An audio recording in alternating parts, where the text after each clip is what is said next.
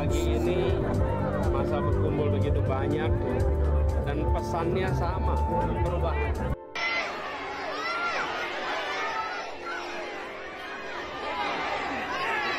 Momen menarik terjadi saat seorang bocah perempuan berusaha meminta foto dengan calon Presiden Anies Baswedan selama kampanye Akbar.